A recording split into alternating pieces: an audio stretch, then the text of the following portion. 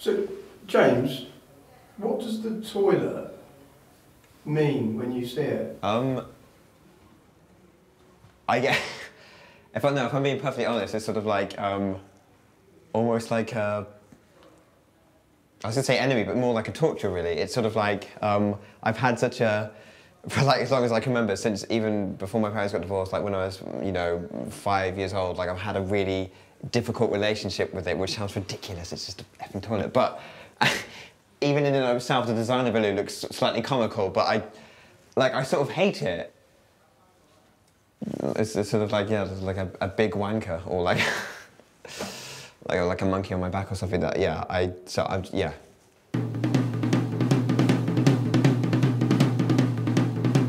This is the world's oldest psychiatric institution.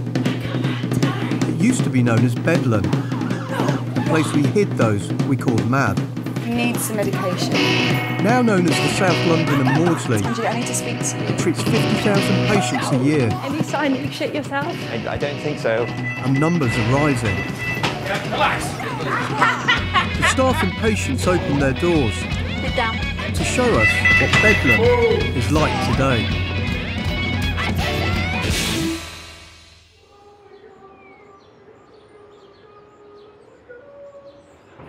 As you said, just just keep going. Stand up. Oh my God. Oh my God. Oh my God. Would you like me to stay here or would you like me to come back? Um, can you stay here? Is, is that alright? That's absolutely fine. It's a condition all of us experience at some point in our lives. But imagine if you woke up one day to find your anxiety had taken on a life of its own. I, I feel a bit anxious because part of my therapy at the moment is tackling opening and closing drawers and doors only once. But what my OCD wants me to do is it wants me to open the drawers and check them a certain number of magic times. Um, in my case, magic numbers are things like 1, 2, 4, 7, 11, 13, 16, 24, 33, 53, and they go on up to 1,234. So what my therapist had me do was just try to open the drawer once and put my clothes inside and then close the drawer. Now my, my OCD is telling me it didn't feel right closing that drawer. So I'm, I'm going to want to open the drawer again and then when I close it, it has to sound right and it has to feel right. So to me, that didn't quite sound right. So my OCD tells me I need to open it and close it again. But now the problem is that wasn't a magic number. That was a number three, which isn't really good for me Why? because it doesn't feel right. And there's it's, it's no other reason than that. It's it's all a feeling based thing. The three for me is a number that is bad. Aaron is 40, a middle manager with an oil company. He's one of 16 patients on an intensive therapy programme at the hospital's national unit. It treats the most anxious people in the country, Do you need anything from your room or? the top 1%. Um, yeah, the front door. Um, now, I'm not going to touch it now with these gloves because these gloves are contaminated from being in the kitchen. But the cleaning ladies, they often tend to carry the rubbish in one hand and they'll, they'll even be using that hand to press the button to get out and then pulling the, the door open. So, like, that handle is like contaminated by the, from the rubbish, you know, they've been handling. Excuse me. You could nip out now quickly. Uh, well, theoretically. but then how would I get back in? So now, right now, I'm worried about, I'm very aware of all these people and sort of watching where they are, where they're going. And so if suddenly someone disappeared round the corner, I'd probably be quite anxious that I'd done something to them to make them disappear. And particularly because there's bin there, there's a rubbish bin there, there's a rubbish bin there, and there's one here, I know where they all are. So I'm worrying if I've put them in the bin. Helen is 33, a librarian at the British Museum. She obsesses about causing harm to strangers. This is just then. I couldn't see that guy for a minute. And I was quite scared. Oh my god, he's vanished. But he's there. It's there. Yeah. Yeah. And now I'm thinking, is that the same man? And so on. You, you've been with us that whole time. So, if you said, Have I done anything to that man? Mm. we could tell you no. Yeah. It would help a little bit, but not, probably not absolutely, no. There's no ration, it's not rational at all like that, you know. I can't just explain it away to myself. Six, seven. Now, by going to seven, I've gone up and down twice, which is also four times, and seven and four are 11, so that's good. I would hide it from everybody I knew because I didn't want anybody to see my craziness. Why, um, why are you letting us see that? I know that if this can help at least one person know that they have a problem and, it, and they can be helped, that it's a good thing, really.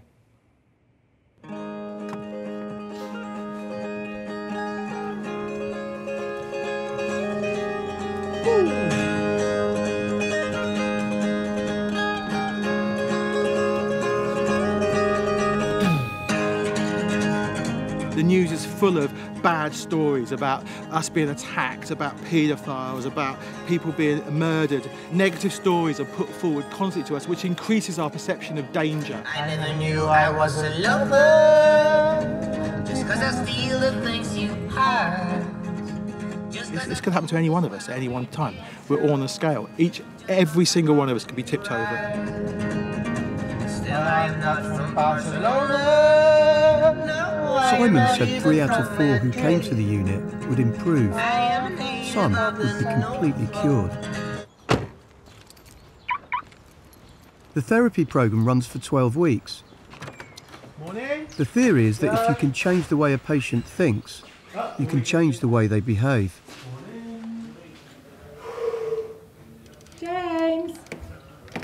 Hello. James has been with us about two weeks now. He's got a long history of very severe obsessive compulsive disorder, um, mainly to do with um, making sure his bowels were empty, um, making them completely empty, and he'd go to extensive behaviours around toileting, wiping, cleaning, to be sure that he's not going to um, basically crap himself in public or have, a, have an accident, which would be totally embarrassing and be humiliating to him. Can I open the door? Anna is James's therapist. Back home, James has been spending up to seven hours in the toilet. He's basically been stuck at home with his mum in a very isolated situation where he's just spent a lot of his life around that toilet. He's had extensive treatment in the past as well, and nothing has really worked in the long term. Keep moving. Well done. I thought actually what would be best to do is for you to go and get some lunch. Oh, really? Yeah. Oh, no. Like everyone here, James lives in a Um, perpetual well- state of anxiety. I think, yeah, because I'm, I'm worried because I, I, because part of me thinking, I want, basically, I think the underlying thing is I want to go to the toilet and have all, and then like go, go, have, like have a shower and get dressed and do all of that before the community meeting at one, which is over, like just over 45 minutes away. And I'd, I'd see is, have you guys had lunch or are you going to be having lunch soon? But I'm thinking, but then she's saying, oh no, you need to go when you have the urge. And the urge is there, but it's maybe not as strong as it should be. So, okay, but then usually when you eat, it, it gets stronger, so maybe I should eat. Or maybe, I don't know. Oh, it's hard because I've been thinking, oh, should I go toilet, should I not? Because I'm thinking, the part of me wants to really go before the community meeting at one. I, should, and I won't have enough time to do it. And I don't want to be sat in community meeting because I hate all the, all the sessions where we're just sat round in a circle. Really difficult because I, because I'm just sat there and most of the time you're sort of passively just listening. I probably should go to lunch. I probably should because I, yeah, the urge isn't that strong right now. So I should go to, go to, oh, I just focus on my thoughts. I'm just ruminating the whole time. What was that sensation? What was the sensation? Do I need to go to the toilet? You sort of have to be able to, well, at least for me, I find I know I need to be able to just say, okay, come on. You know, almost give yourself a pep talk. Like, I've got to be able to do this myself because if I don't, I'm going to be stuck doing this forever. I'll go to lunch. What a good idea to eat. Yes, yes, probably. I'm, I. Yes, yeah. No, because yeah, because I won't obviously community meeting and then and then yeah. Uh, yeah, I'm, uh, yeah, I, I, I should get. I yes, I'll have some lunch. Yes, a normal person would. Well, I'll go to lunch.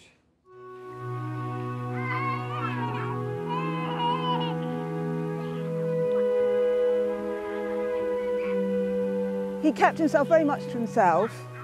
Um, he'd play on his own for hours, absolutely hours. And you, you'd ask him what he was doing, and he'd say he was playing in his head. And with hindsight now, I thought to myself, I wonder if that was particularly normal, whether it was a portent of things to come. Happy birthday. I'd, I'd end up walking around with, with, with pictures of him when he was little, um, and just looking at him and the photographs and thinking, how has this happened? How, how, how, has, how has it come to this? Just like you want, Mummy. And for you and Daddy. Daddy. Through it all, I, I, lost, I lost my James. I lost my little, happy, loving little boy.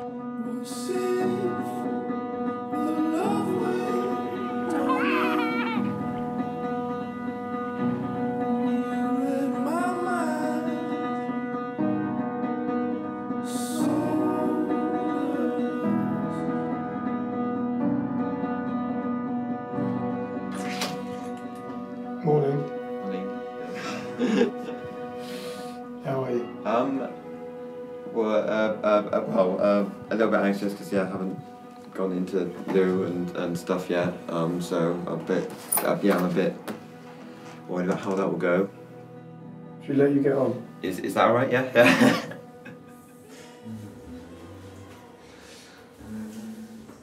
So far, James's therapist Anna has been coaxing him out of the toilet. But now, four weeks into treatment, she wants him to try and get out by himself. She's set him a target of seven minutes, the average time most of us spend in the loo.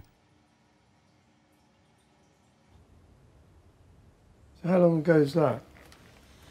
No, probably about three years ago. And what's your boyfriend's name? Les. Helen is being treated for an irrational fear that she's harmed people, specifically that she's put strangers in rubbish bins. Would you ask him to check things like bins and Yeah, yeah. That just built up and built up until um, he got sort of fed up with it, completely fed up with it, and yeah, took me home to my mum. do you love him? Yeah, I do, yeah, still do. We were together for about eight years. Various times he sort of tried to prove to me that you can't fit people in bins, for example, by standing in bins in the middle of um, supermarket car parks himself. Um, yeah, sort of screaming and railing and.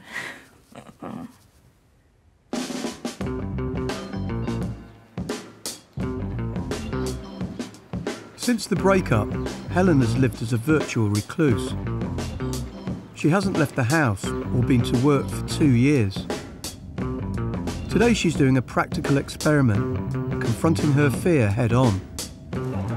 She's heading to a busy part of London where she'll be surrounded by strangers. If you're going to walk down the street, just kind of walk, and I want you to kind of wander in and out. No stopping, no no pausing, just kind of continuous. What's your prediction? What do you think might happen? That I'll see people that I'm worried about and I want to check. So you are going to feel anxious, and if you're not, we're not doing the right thing, right? Okay.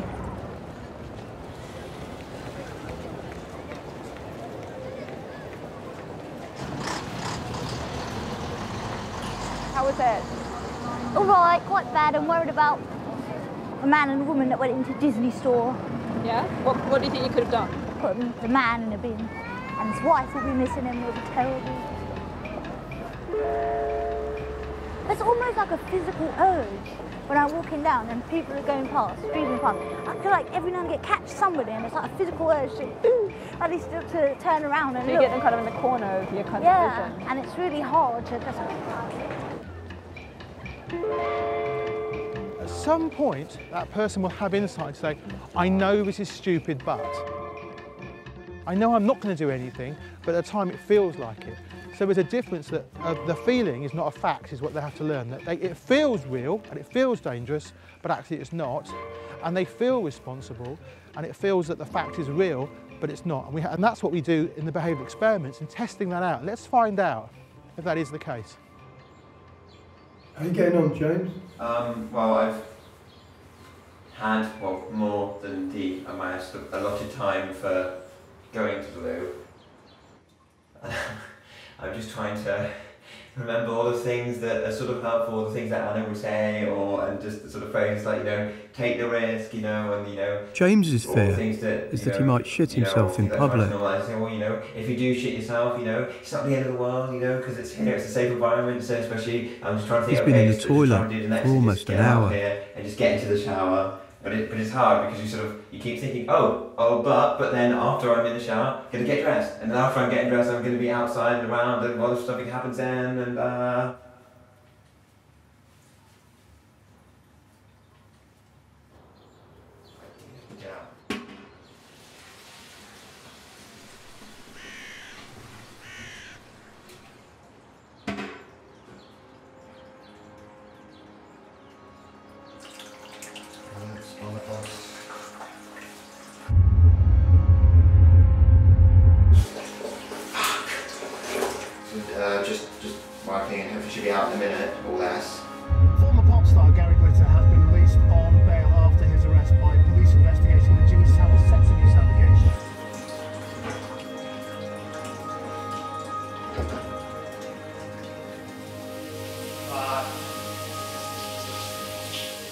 Life, since he was about 16, 17, has been completely ruined by it. And that's the only way I can describe it. It has. He hasn't had a life. It's like somebody being in prison.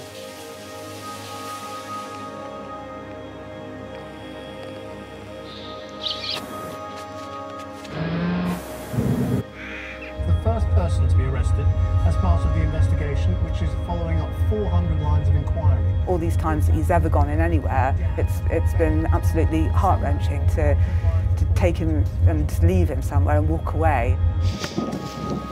And especially an actual, you know, mental hospital. James lives with his mum on an isolated farm in the Cotswolds, run by his grandparents. As a teenager, she watched him go in and out of various psychiatric institutions. Each time he came out, James would feel better until his OCD took hold once more. I guess I just need to ask one question. Last year, his condition became so severe he had to drop out of university, where he'd just started a drama degree. It's not what? It's not. It won't get any marks. Well, then you have to do a little bit more work to that one essay. No, I don't understand. Why do I need to do more work if I want to do year one again? Well, you're stupid, that's why, because they want you to do year two. That's up to you. You're going to end up not even going back to university. Why? I'm just- Why? Well, we can't sit in this. You'll be a student till you're fucking 30.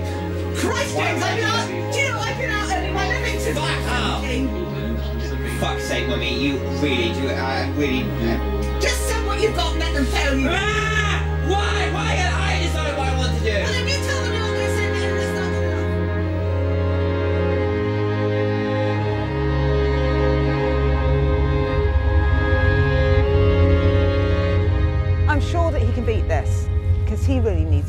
University. He really, really wants to get on with his life. And I really, really hope that, that this helps. But uh, I know that because he's relapsed before, that it would be completely unrealistic of me to think this is the cure of, to end all cures and he'll be all right because OCD never goes away. He's got to learn to manage it.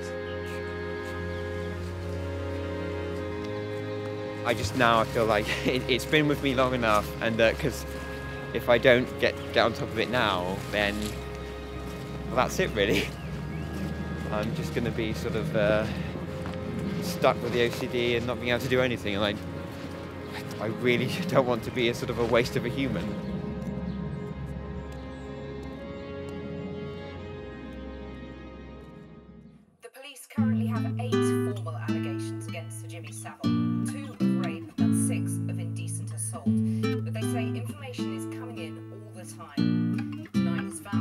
Helen has been making good progress.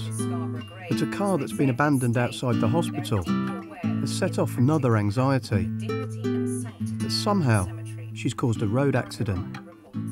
All morning I've been worried, and I dreamt about driving, worried if it was real and not a dream. That I've been out somehow, taken, stolen a car and driven it. And now there's an abandoned car out there. So it's like, it must have been me. I think it must be dumped, and so it's true. I must have driven in. oh my God. When a patient starts to obsess, the therapists are trained not to give reassurance.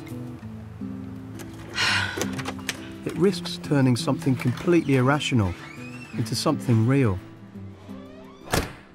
It must have been me. It must have. Is there another explanation for it? Nothing else? Mm-hmm. It looks like it's been dumped. Well, you may have done it. I'm not saying you didn't. But what's the likelihood? Quite likely. Yeah, really? Yeah, seriously. You've gone out without knowing about it, despite having sellotape across your door. Well, I had dreams about driving.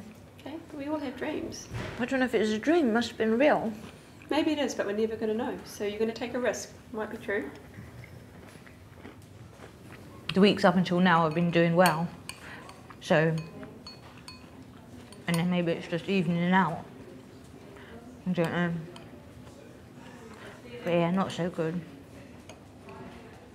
Helen's condition, like many patients here, is driven by a less well-known aspect of OCD If you just put it, we're just wobbling it in.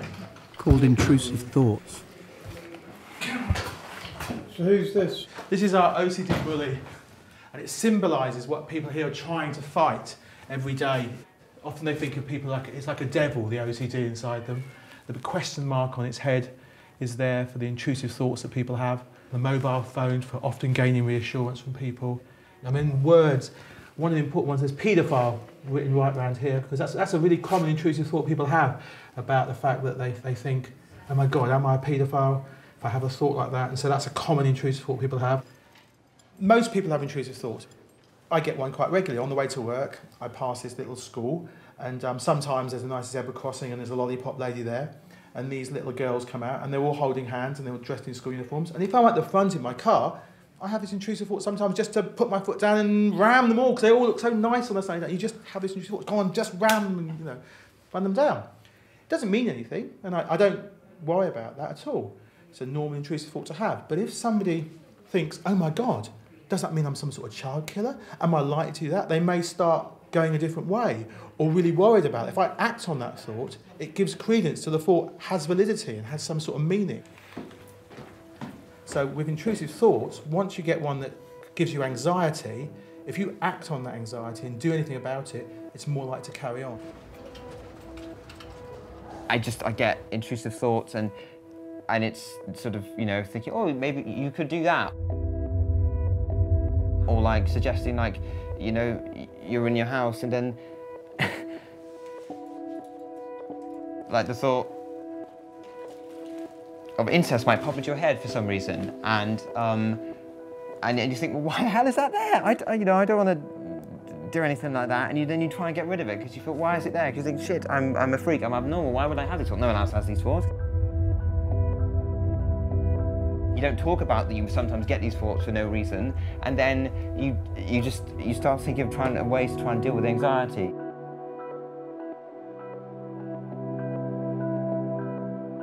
That was the most distressing aspect of all of this. When he was in the room with us, we were triggering all these thoughts off. And that you can't even put into words how that made me feel and Hannah. It was just terrible. James has never spoken to anyone about this, other than his mum and sister, Hannah. His unwanted thoughts feed off each other, escalating from incest to James's worst fear that he could become the thing he despises most. What I've done is I've printed off just some articles. I've got one on, well, I've got the Wikipedia on Josef Fritzl, right um, a picture, Gary Glitter, uh, an article about sort of Jimmy Savile and Gary Glitter. But also we've got um, a picture in this one of Josef Fritzl. Like the toilet obsession, the therapy continues to be about confronting the fear. Avoiding it makes it grow stronger. James, just just talking about them, what's that brought up for you? I don't know that if I that I could be like them if I don't ritualize or try and control my thoughts in some way. I might be like them or have the thought, oh, they're nice people. or feel like that. I don't know. Um, So just even thinking about them is making you feel well, I've been ritualizing every time I see the picture. It's sort of like I'm always being infected by like some sort of I don't know black tarry sludge or something coming into me. Um, uh, so mental, like the, the, the sort of the chant I have, like, I'm not a sex stacker, rapist stacker, paedophile, incestuous necrophilia. So like I feel like if if I just give give one inch or one millimeter of of anything, then that will be the start of like a slope. Well, I'll be fall off a precipice, and I will, that would lead lead to me becoming a pedo, or wanting to be one, or something like that.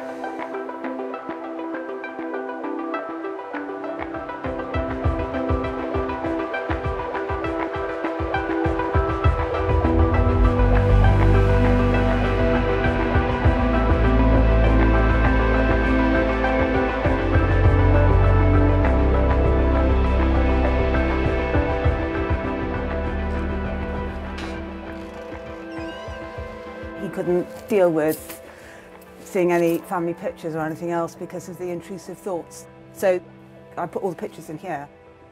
If he ever came in here, let me use this for an example. He'd pick that picture up and he'd look at it and he'd cover it up. And then he'd look at it again and he'd cover it up and try and cover it with something. And then he'd look at it again and cover it up. And that could go on for, well, 20 minutes, half an hour, even longer.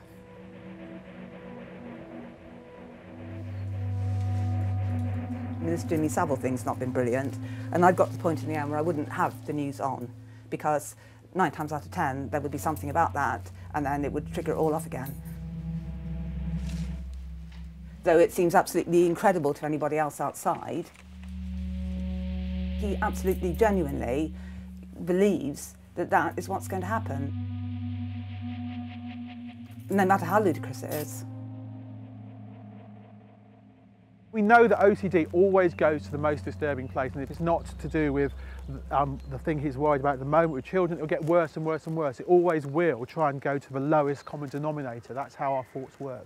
Particularly things like worries about being a paedophile. That's everywhere at the moment. Everybody's concerned that you know everybody's cu- all these um, people that we respected are suddenly becoming paedophiles. So we worry if we have thoughts, any, even anywhere near that, that we must be bad to have the thoughts about it in the 80s when I started this work, people worried about have, I caught HIV? You know, any, they would be suddenly worried about anything that was red. Oh my God, is that tomato sauce or blood? Am I going to get HIV and intrusive thoughts there? And nowadays there is the kind of um, media obsession with paedophilia and rooting out and finding it uh, much more rife than it is. And so it's quite natural that it's around that those are the concerns that people have.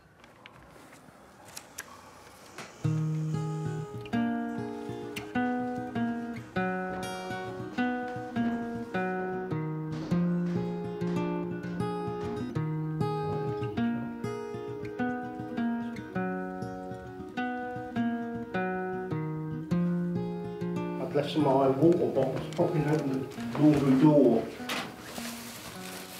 Could we open the window, a little, uh, curtains a little bit? Um, Or is that tricky? can, we can, but um, shouldn't, I shouldn't be getting like this. Once you get into your glove mode, yeah, you can see here I've got my clean gloves set out. Leon is a vegan. I'll just take off this pair, which actually already a bit icky. Over time, his beliefs have spiralled out of control. And what are you using that? There's disinfectant down there. What, what, how often are you using that and for what? Don't tell the therapist this. She's saying, have you been using that disinfectant? It isn't my main thing. I don't use disinfectant that much. He's obsessed by the idea of being contaminated by anything that's dead, even an insect. Is that about a, a week's worth or less? Oh, this is only about a day's worth. At 55, he was older than most patients Dump this in the recycling bin. and didn't seem as desperate to change.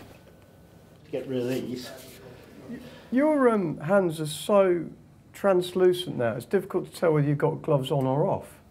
I can tell. you know, there's this Shakespeare thing where he said madness creeps in little by little. It does.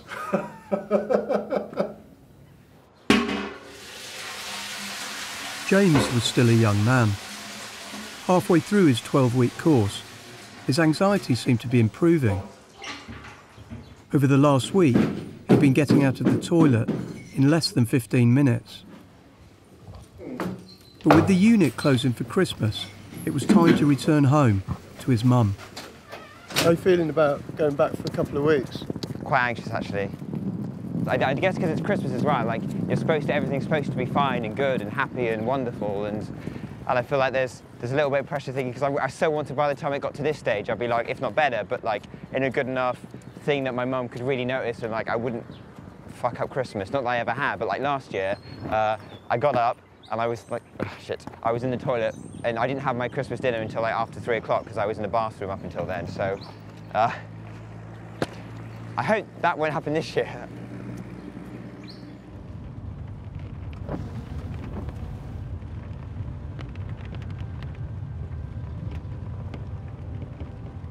We'd arranged to visit James back at home over Christmas. The morning we arrived, he was stuck in the toilet. Things hadn't been going well. Jamie? James? How are you doing? Do you want me to come and give you a shout in five minutes? Okay? And do you think you might be ready then? Okay, I'll give you a shout in five minutes then. Wednesday night, there was a film on the television about um, Alfred Hitchcock called The Girl. And he's a, a big fan of Alfred Hitchcock and his films. And he watched it and he just went into meltdown afterwards. Because um, I'm, I didn't see it, but Hannah said, What a horrible man. And it was um, about his relationship with Tippi Hedren. And James just, he just freaked completely. He was, he's saying he had to get away. He, he, was, he was a horrible person, meaning James was a horrible person. He might be like Alfred Hitchcock. He was horrible, he was awful. Um, and I ended up having to lock all the doors and hide all the keys. The film portrayed Hitchcock as a sexual predator. Watching it had triggered James's intrusive thoughts.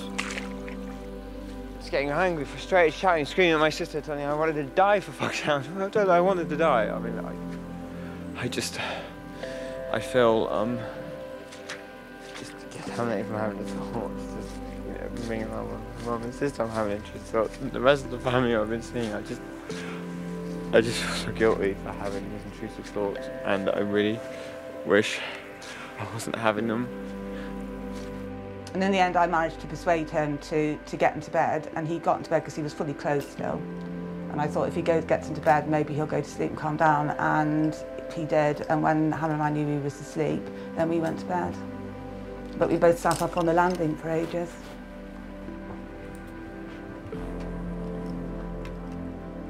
How you doing, Jamie? Okay, do you want me to give you another shout? Right. So you don't want me to come and, and give you another call in five minutes? Well, he says that's not helping, so... He's been in there for nearly an hour now.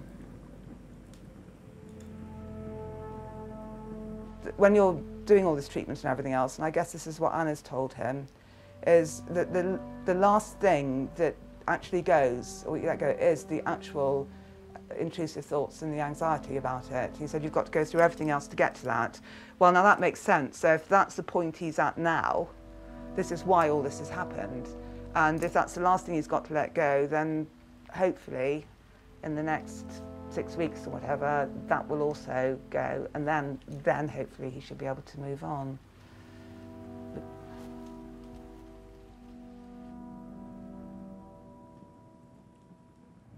After a major relapse at Christmas, James has returned to the anxiety unit. He has just four weeks of treatment left. He can't seem to beat the OCD bully that's controlling his anxiety. So just imagine for a moment the bully, the self-critic of yours, is over there. You know what, James? Um, you, you, you know, you need me um, because if it wasn't for me, you know, firstly, um, I mean, God knows, you know, what horrible, evil things you would have done. And second, um, you know, that's, you know, you probably would have shit yourself long ago. And, you know, third, you know, if, if it wasn't for, you know, things I do, you, you know, you'd be deluding yourself thinking that you were good at anything, that people liked you, that, um, that um, you had any friends, because, you know, you don't. Uh, you know, no, everyone hates you really. Um, and that that really, you know, you're a worthless human being, really, aren't you? I mean, let's face it, you know, um, skinny, scrawny, um, and just um, pretty degraded, you know, piece of dirt. So um, if it wasn't for me, um, you know, you'd be in a really shit position.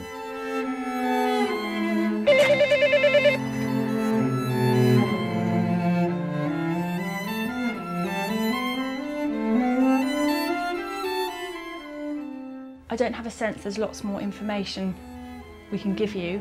It's actually about you now taking what you've learnt and doing, doing, doing, and practicing, practicing, practicing, repeating, repeating, repeating. It's not us being sort of mean or harsh. It's about saying, let's kind of switch gear now, so it really becomes something that you're, you're kind of, um, you've absorbed everything and you're applying it.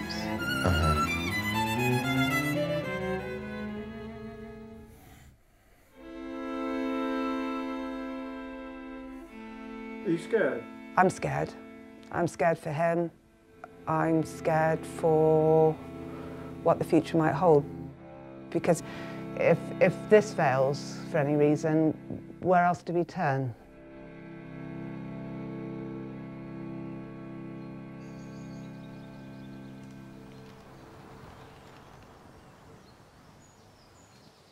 Helen's time at the unit has come to an end. So no chance of a net of overextension? I'm really sorry, it's not. No. I think no. Today I realised it's time to go anyway. So. is, well, I think it is time. Yeah. You've had the longest extinction of anyone I've ever worked with. Have it, I really. I had a good So- run in there. right, you got it, you got it in. Pushed it as far as I can go. If we kind of reflect on your first day here. Yeah, that's the thing to remember, yeah. How long had it been before you left home? Two years. Two years. yeah. of Not leaving the house. It's about you kind of having that confidence because it's kind of really up to you now. Um, really don't want to go. Give me a hug. The thing is, she's taught me what I should do and what I shouldn't do. That's it, you know, it's just up entirely up to me now to to implement what I've learnt and not be doing I shouldn't be doing what I'm doing still, but somehow I can't sort of get over the last hurdle of it. Yeah.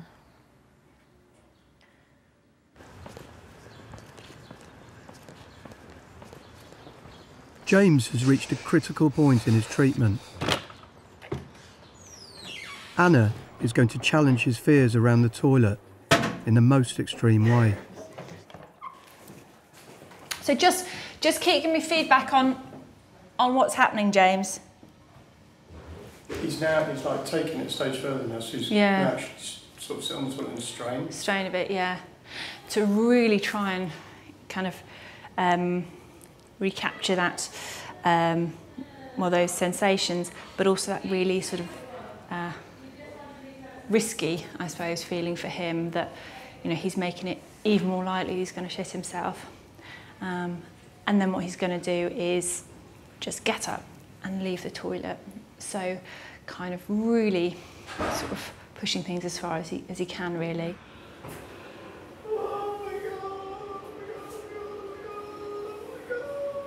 Keep going, James. There's a, there was a, a fair bit of poo, but I haven't wiped, and is that okay? That's just what we agreed, so keep going, James. Have you got your trousers up yet? Yes. Okay, you ready to come out? Not ready, but yes. Go for it. Park.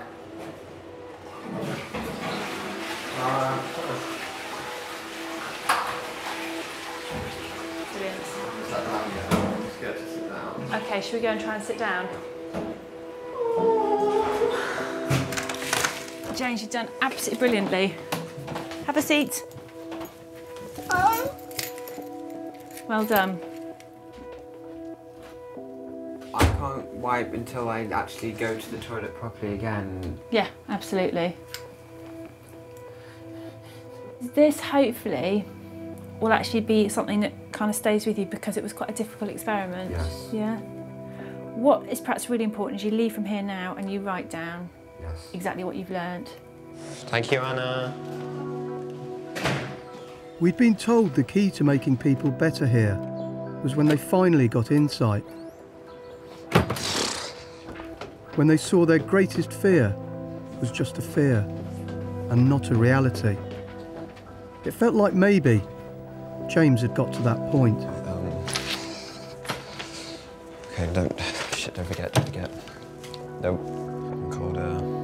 Okay, today I did experiments. I was on the loo, moving, sat in one position, one position, gone, strained, no wiping, just got out straight away and been around knowing that there is probably almost 100% there probably is feces on, on my ass, but that's, the world didn't end as soon as I sat down for the first time, because I felt like it was going to, and remember that, I remember that I've done that, I've done that, I've done that. Um, and it's okay.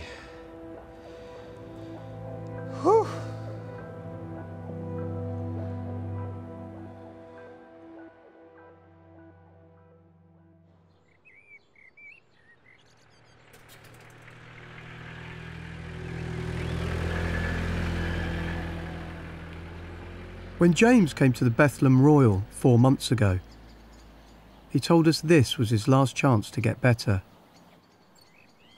Today, he's finally ready to leave.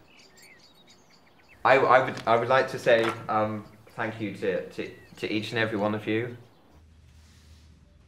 When I had my assessment, I, I, I, I was thinking back in my mind I probably wouldn't be allowed to come here. And even when I got here, I didn't think I would probably end up making that much progress. And though yes, I mean it's about me doing it on my own, and that's that's all that. But but I don't. I, I, I, I wouldn't have been able to do.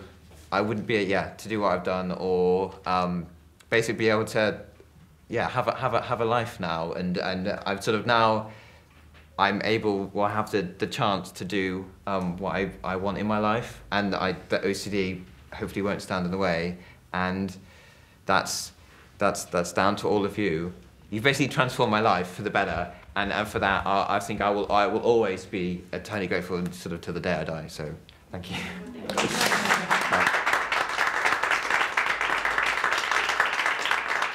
certainly the best I've ever been since I've had OCD. I'm, I'm sort of getting there. I am, I guess, fully discovering myself and not taking into account the OCD. The OCD isn't colouring who I am or my behaviours or anything. It's, I am becoming the person who I am. This is almost like a, a good like I've been for a nightmare for God knows how long, and now I'm entering sort of like a, a good dream. Uh, but it's, but that's all it is. It's a dream, and it might be taken away from me. So I just still want to let that happen. Yeah.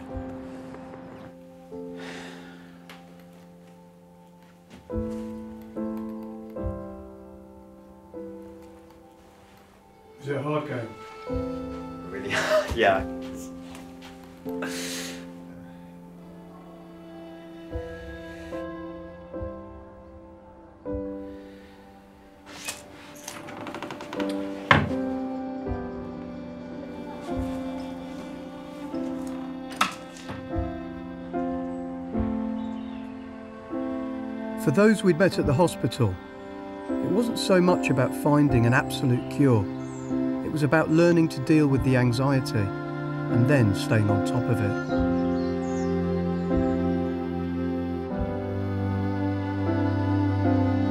Although Helen was still struggling with her thoughts, she'd actually made it back to work. Oh,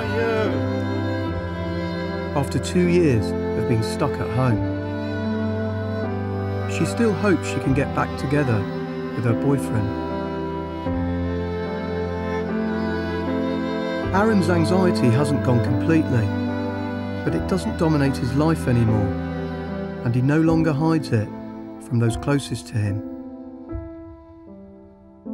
As for James, six months on, he's returned to university in Exeter to redo the first year of his drama degree. So far, he's kept his OCD in check and is enjoying a life free of anxiety.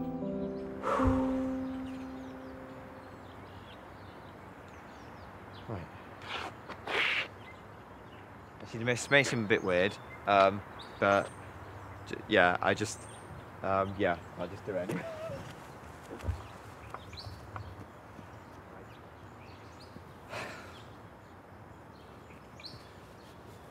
Uh,